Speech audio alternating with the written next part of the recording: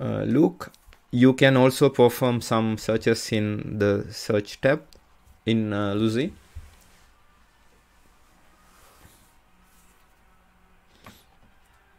uh, here you can see a look uh, you can per also perform some searches uh, in the search tab.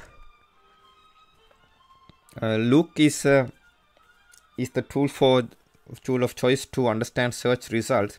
It is a free java utility that lets you analyze a Lucene, uh, Lucene index, index. You can uh, uh, perform some searches uh, here in the search tab here uh, the the search works using a series of uh, one or more field name colon uh, term. Uh, predicates. For example you can think of this one uh, here title colon hello here content type dot tel Telerik. Note that the query is case sensitive. Uh, the field uh, field name should always use the exact same case here uh, than the field name uh, dis uh, uh, displayed but the term should always be lowercase here uh, for uh, adding a plus before predicate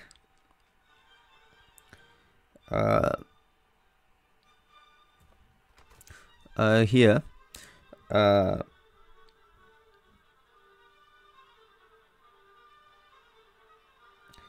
indicates it is uh, mandatory.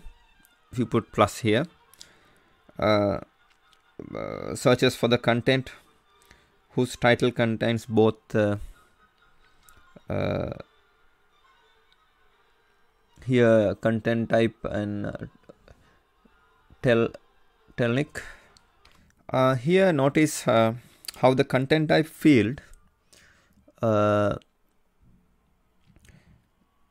indicates the type of the content you are dealing with here.